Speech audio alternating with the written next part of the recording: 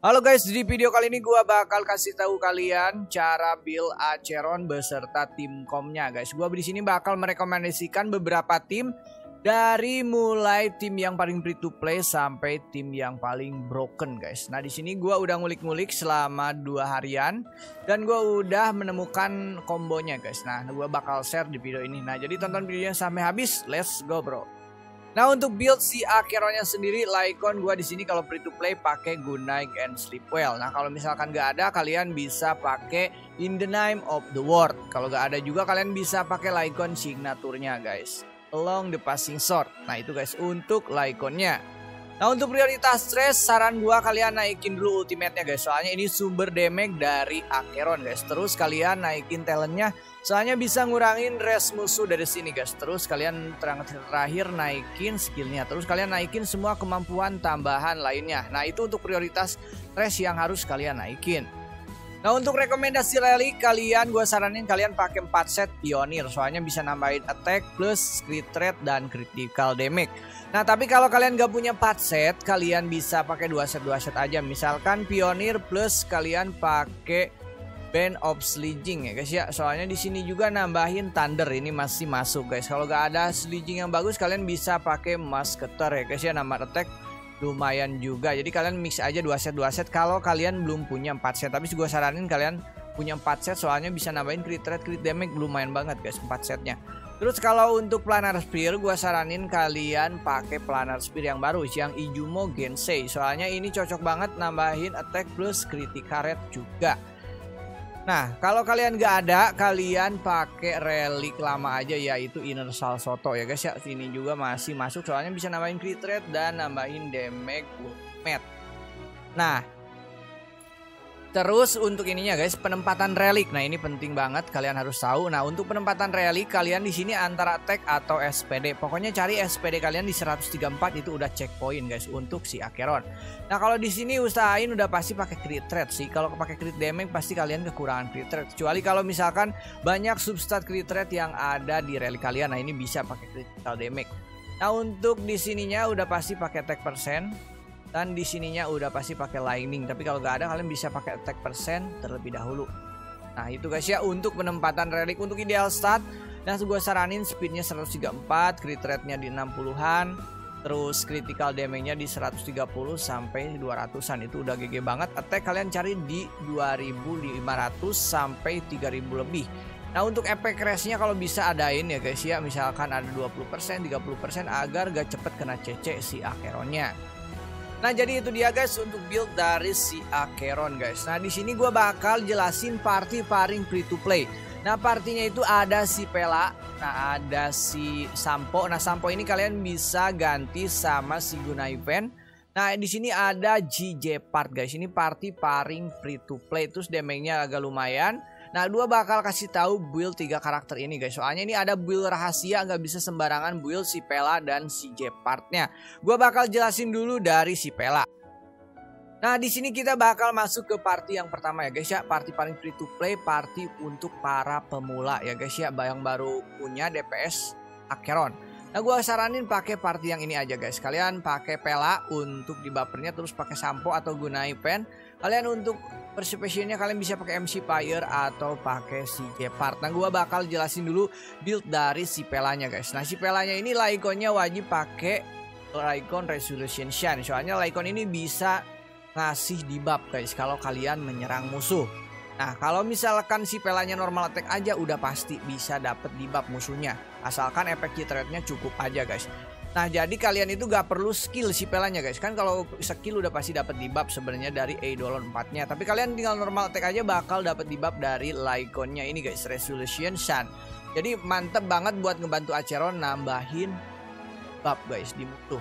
Terus untuk trashnya kalian bisa naikin ultimate sama ininya aja guys talent Soalnya ini yang paling berguna soalnya ultimate-nya juga bisa ngasih debuff Bisa ngurangin defense musuh jadi dapat dua ya guys. Ya semua serangan dari Spela kalau kalian pakai Lycon ini semuanya ini berbau bab ya guys ya. Mantap pokoknya.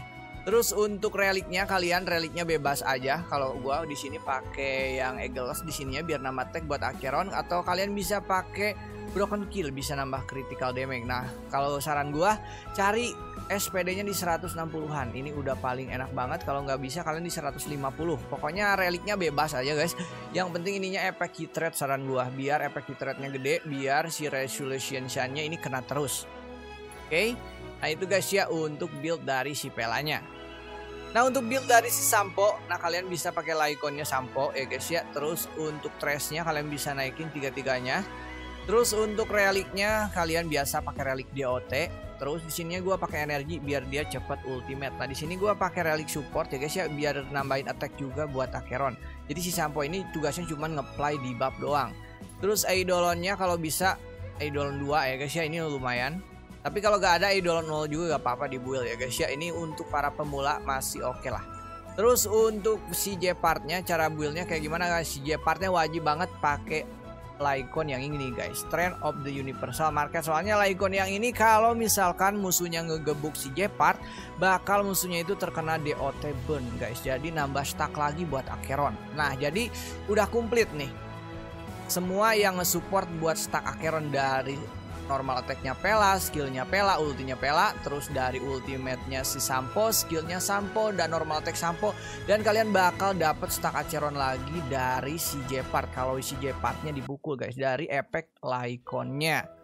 Nah terus kalian kalau si Jepardnya nge-skill ya guys ya di si Jepard juga bakal ada peluang untuk nge-freeze musuh. Nah itu juga bakal nambah stack buat ultimate-nya Acheron lagi. Nah itu guys untuk masalah build party free to play nah bakal kita coba di MOC ya guys ya untuk gameplaynya sendiri. Nah di sini gua udah ada di medan pertempuran ya guys ya. Untuk pertama-tama kalian keluarin tekniknya Gepard terus Sampo, terus gua bakal ngeluarin si Pela guys. Ya Pela. Nah terus di sini gua pertama-tama kan si Pela udah pasti nyerang duluan guys. Soalnya speednya paling tinggi. Gua langsung skill aja biar ultinya langsung penuh langsung dapet dua debuff ya guys ya dari si Pela. Tuh Aceronnya nambah Terus gua bakal normal attack sampo aja bak Jadi 9 Nah langsung kita ultimate Aceron Nah udah penuh lagi guys ya Langsung hajar aja nih Jebret Jebret Jebret Jebret Gun bro. Nah di sini kita bakal dapat stack lagi guys. Kita skill Gepard kalau nge bakal dapat stack satu dapat dua ya guys ya. Nunggu si Gepardnya dipukul nih. Kita dapat stack dari skillnya Aceron oke. Okay. nunggu Gepardnya dipukul. Nah dapat stack 4 ya guys ya. Lumayan. Langsung ultimate aja di sini kita bro. Dapat 5 tadi dipukul lagi si Jepard Oke, kita bakal dapat lagi da, di sini kita normal attack aja tak langsung 6 ya guys. Stacknya gua normal attack sampo. Langsung 7, kita bakal ngeprisin lagi langsung 8 nih kayaknya nih, Bro. Oke, langsung 8 stack tap kita ultimate lagi Acheronnya, guys. Langsung cepet banget ya guys ya nama stacknya. Yo, cuy, karena Lycon Lycon tadi itu udah ngebantu banget ya guys ya buat nih taknya Ceron. Nah di sini kita bakal skill aja. Oke, kita normal attack sampo. Ultimate sampo guys, biar dapat stack lagi. Terus ngepris si Gepard nih kayak gacor. Oh, si Gepard kena pukul dapat stack lagi, kena pukul lagi dapat stack lagi guys. 5 mantap sekali. Waduh. Berharap si Gepard Himbal itu dapat 6 guys. Tak mantap sekali. Dapat 7 dipukuli lagi si Gepard, Cok. Mantap nih senjata ini guys. Dapat 8 guys. Yang penting langsung ultimate lagi kali ya guys ya. Beh. Mantap ini combo-wombo ya guys ya. Jebragan ya Ceron bro. Set, slebel, slebel, slebel, slebel, gaskeun paman langsung ya guys ya meninggoy. Nah gitu aja guys ya untuk rotasinya Nah di sini gue bakal kasih tahu party yang udah yang udah jadi dan udah broken ya guys ya. Nah kalau kalian mau bikin partinya kalau bisa bikin kayak begini. Nah terus di sini gue pakai Lycon Signature ini udah pasti maksimal banget ya Megdaya Aceronnya. Terus di sini gue Sparkle, speednya paling tinggi di 150. Terus di sini gue ada Black Swan, speednya di 142. Gue pakai Signature semua guys ya. Nah di sini udah jadi banget pokoknya ini udah enak banget. Nah kita bakal coba ya. Gepard buildnya masih sama kayak yang tadi. Nah kita bakal coba guys, let's go.